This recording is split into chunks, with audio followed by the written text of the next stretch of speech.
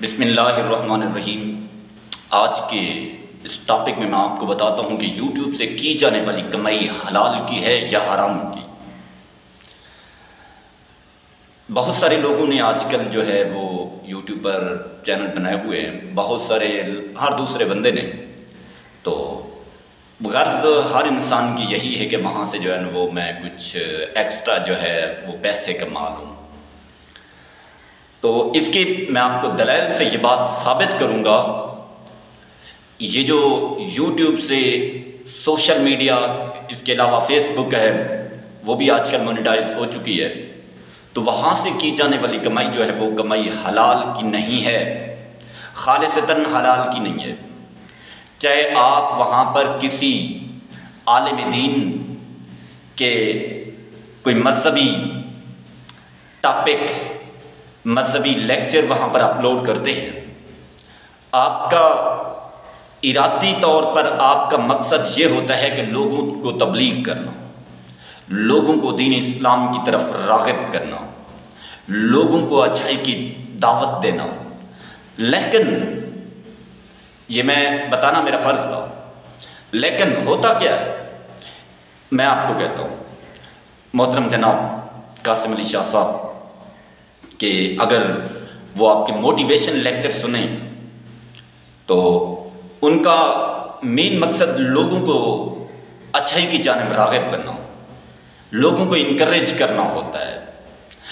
लेकिन एक जो हमारा इस्लाम है, जो हमारा दीन है, वो हमें इस चीज़ की इजाज़त नहीं देता कि किसी बेहई वाली चीज़ को देखें। उनका मकसद तो मोटिवेशन था। उनका मकसद दीन की तबलीग था। लेकिन जब एक वीडियो को उन्होंने यूट्यूब पर या फेसबुक पर अपलोड किया तो बहुत सारे लोगों ने उसको पसंद किया। जब वो मोनिटाइज थी गूगल के साथ उसका लिंक था तो वीडियो चलने से पहले वहाँ पर ऐड लग जाती है। ऐड लगती है। जब ऐड लगती है तो वो मोहतरम जो ओनर होता है चैनल का तो उसके बस में नहीं होता। अब ये गूगल की मर्ज़ी होती है।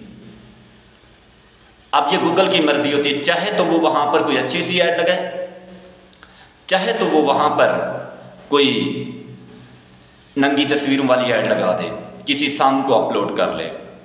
या इसके अलावा कोई ऐसी एडवर्टाइज कर दे जो कि हमारा इस्लाम हमें उस चीज़ की देखने की इजाज़त नहीं देता।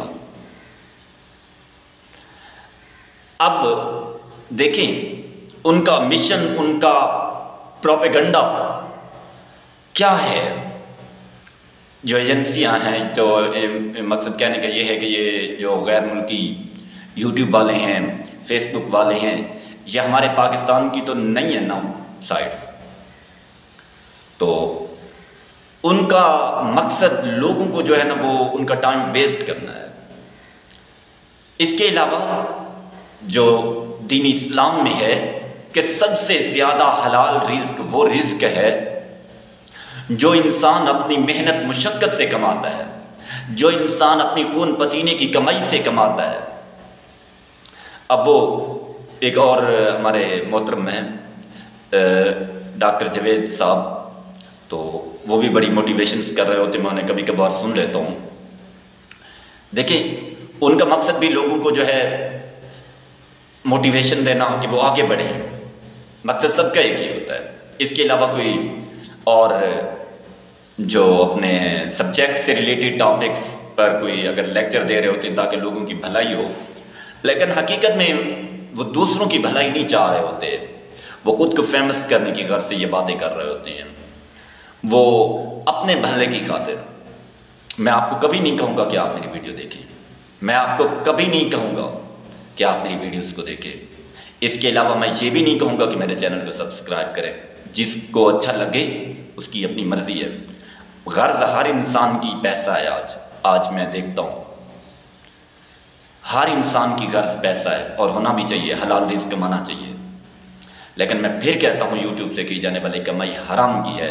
चाहे आप वहाँ पर कोई दीनी लेक्चर पोस्ट कर देते हैं, चाहे आप किसी आलम दीन का बयान वहाँ पर जो है अपलोड कर देते हैं। क्योंकि जब उस बयान को चलाने से पहले एक बंदे ने अपने बयान में ये कहा है कि अल्लाह का जो हुक्म है, वो पर्दा करना लाजिम है।